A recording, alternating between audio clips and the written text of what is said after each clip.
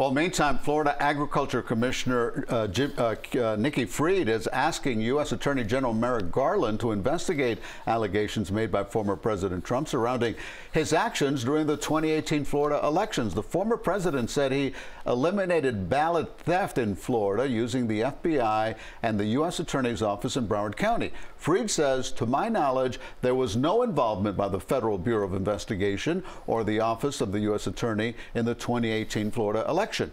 If the president was tampering with the state ballots, we need to know. If he is fabricating these allegations in the name of politics, we also need to know.